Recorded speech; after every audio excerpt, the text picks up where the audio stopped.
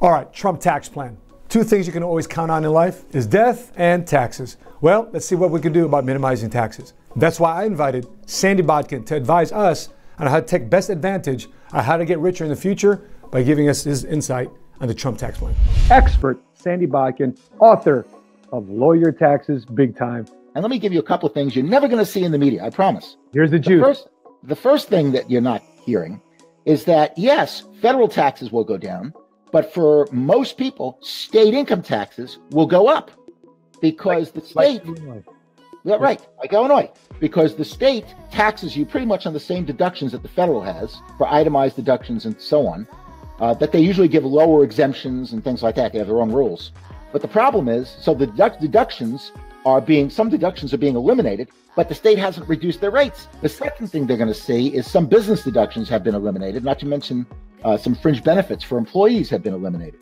Well, that'll mean more social security taxes. So FICA taxes are going to go up a little bit.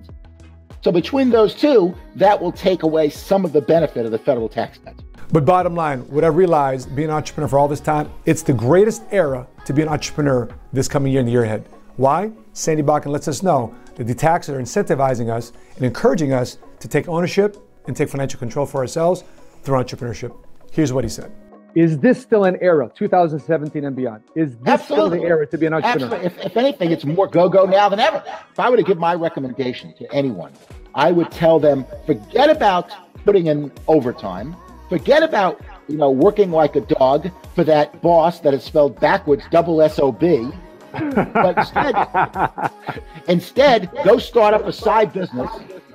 You might be it'll be subsidized. At least you'll get some losses against your earnings this year, and you'll be able to carry it carry it forward if you have a loss, and and use that money, and maybe make enough money where you can quit that job. Ski, snowboarding, me, best part about it, doing side by side with my mentor, CEO Patrick Bet-David, at a $25 million lodge in Lake Tahoe. Who knows how to ski? skiing like we do back in uh, Iran and the Philippines, yeah. right, Patrick? I mean, it's natural for us, right? To go to school on skis on sand, for me at least, in the Middle East. The closest thing I came to skis was Brewski.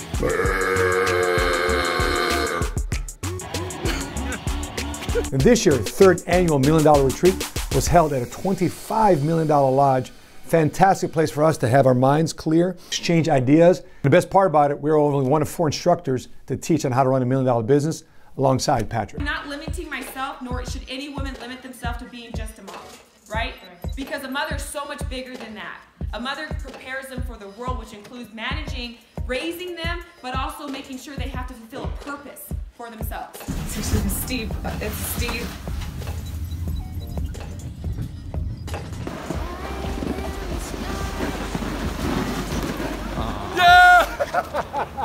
How many guys are around a crazy CEO? How many guys are on a crazy mentor? Well, we are. You know what Patrick just challenged us to do? He challenged 20 of us, 20 of us to run a million dollar business this year ahead. And when we do so, not only do we get a cash bonus, we get a trip to Italy to tour the Ferrari factory. We pick up our keys to our customized Ferrari in Italy. How's that for a crazy CEO, huh? To top it all off, we get visited by a bear. It's not something you see every day at a Million Point Bay Shop retreat. There's a bear right there. It's a Chicago bear. Bear down, Chicago Bears. That's all I know. I know what you're thinking, right? New Year's Day, New Year's Eve, popping bottles, hanging out at the clubs. Not the way you're thinking. MSM, I hope you're pushing to the very last moment. Here with our newest guy, we. We're about to bust out some phone calls. I want to encourage you guys to continue to push. I want to encourage you guys, don't get caught up in the broken knees, man. Don't get caught up in being normal. Normal people right now are partying, having a great time, popping bottles, but don't be normal because normal people are normally broke. Push to the very last minute. See you at closeout. And does it all pay off?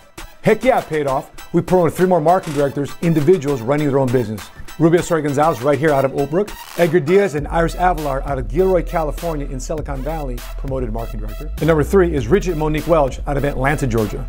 The interesting thing about Edgar and Iris, Richard and Monique, is that they were at a competing company, is that they've been able to accomplish more in four months than they were in a year and a half at the previous company. And what we did differently was simply change what we did on evenings and weekends, and especially holidays, to get ahead financially. All this all work and no play top stuff, man. I'm grabbing me a drink, man.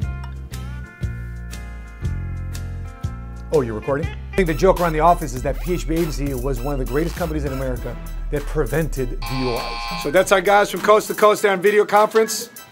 And these are our guys here in Oprah, baby. You guys ready to do it? Here we go. Let's push it up.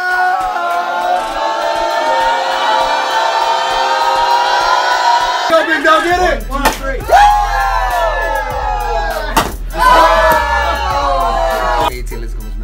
Above you. Never above you. Never below you. Never below you. Right beside you. Right beside you. Episode, baby.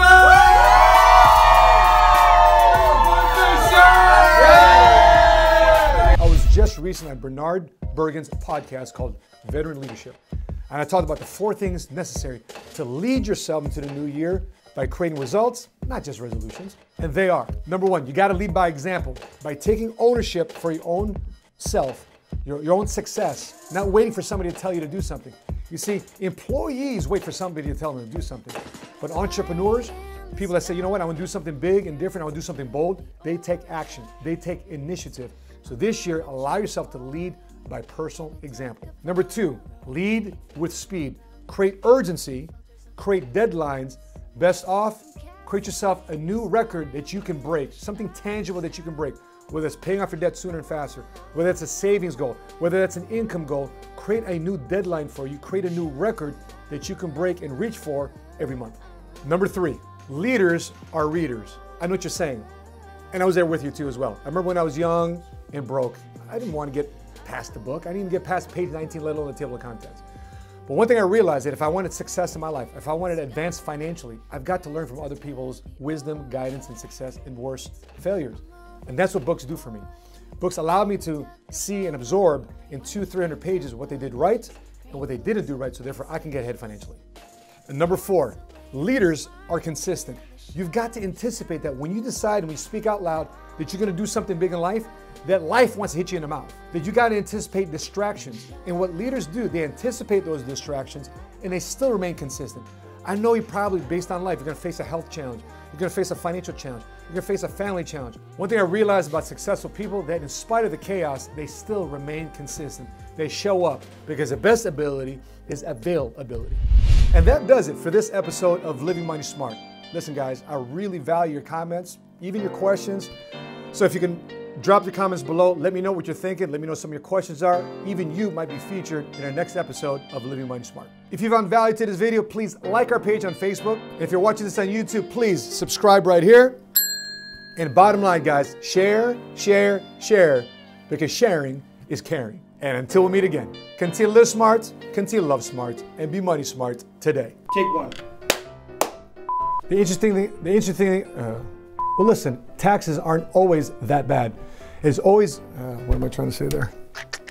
Two things you can always count on in life is death and taxes. So, in order to, the best part about it, we're one of the many instru- and best part about it, have our have our conscience. Great place for have, great place for have, great place for. Oh, you shooting already?